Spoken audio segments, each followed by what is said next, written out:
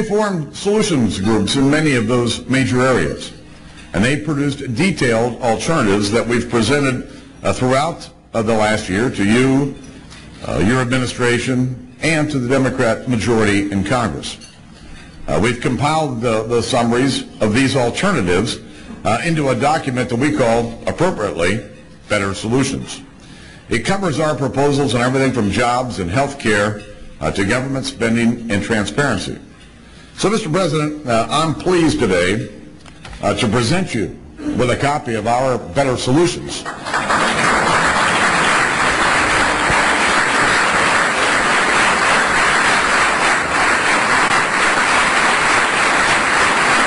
Here's my thing. You got a better idea?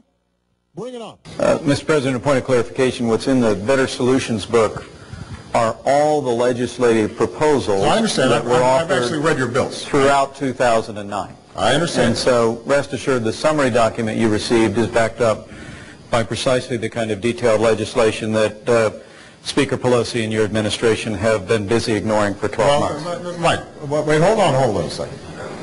Uh, uh, no, it's- no, no, no, no, no, no. Hold on a second, guys. You know, Mike,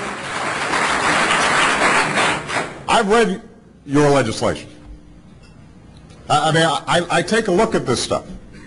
My thing. You got a better idea? Bring it on. Uh, I'm pleased today uh, to present you with a copy of our Better Solutions.